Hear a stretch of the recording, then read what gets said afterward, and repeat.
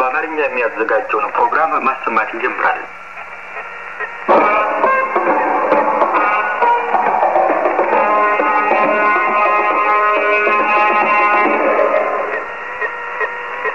የዜና ዝግጅታችን ከዚህ ነጥቆ ይቀርባል። በተቀደሚ አርዕስተ ዜናዎች ዛሬ በሞስኮ ውስጥ የሶቪየት ህብረትና የፈረንሳይ ንግግር በመሪዎች ደረጃ ተጀመረ።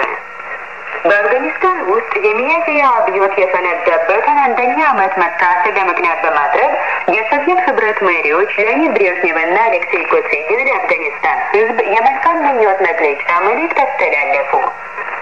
ግብጽ ከእስራኤል ጋር የብቻ ስምምነት